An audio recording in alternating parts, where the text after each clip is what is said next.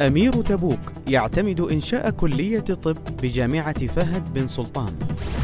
أمير المدينة المنورة يرعى حفل تخريج الدفعة الثالثة والخمسين من طلاب الجامعة الإسلامية.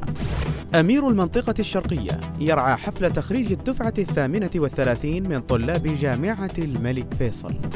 وزير التعليم يدشن برنامج استفادة لتمكين المدارس الأهلية من الاستفادة من المرافق التعليمية التي يملكها القطاع الخاص التعليم السعودي والقطري يوقعان مذكرة تفاهم لمشروع البرنامج التنفيذي الثالث في المجال التربوي والتعليمي.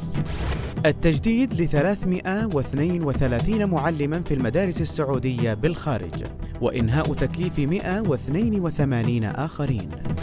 مدير جامعة حائل يفتتح معرض الكتاب الخامس والبرنامج الثقافي المصاحب له.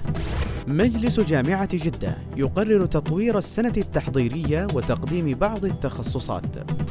المبتعث السعودي في أستراليا ظافر الأحمدي يسجل إنجازا جديدا باكتشاف طريقة جديدة ومبتكرة تساعد في الكشف المبكر عن إصابات الدماغ للأطفال.